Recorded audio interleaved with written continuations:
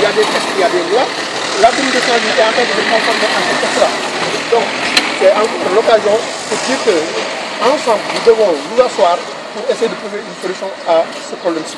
Maintenant, qu'est-ce qui se passe? Voilà des milliers de Saint-Louisiens, des milliers de jeunes élèves qui aujourd'hui n'iront pas à l'école parce que par l'agissement et la mauvaise euh, attitude et les mauvais calculs de, du préfet nous déplorons aujourd'hui. Est-ce qu'on vous a de... Sont très légère. Parce que pour des problèmes d'immatriculation, on bloque des bus de la commune de Saint-Louis et je crois que là, vraiment, c'est mal apprécié la situation. Les parents d'élèves, les Saint-Louisiens, dans leur ensemble, ils savent ces bus-là et il n'est plus à nous de le démontrer. Donc je crois que le préfet prendre notre attitude beaucoup plus citoyenne et laisser les élèves aller à l'école le temps que nous réglions ce problème. Donc je crois que là, il a fait et c'est vraiment déplorable. Et ce qui au préfet le- habit d'autorité. Et puis ce qui est plus déplorable, c'est que nous pensions qu'avec l'avènement du président Macky Sall, que la République allait être quelque chose de réel. Mais malheureusement, la collision entre partis politiques et administration centrale, elle est toujours là. La République n'est que debout.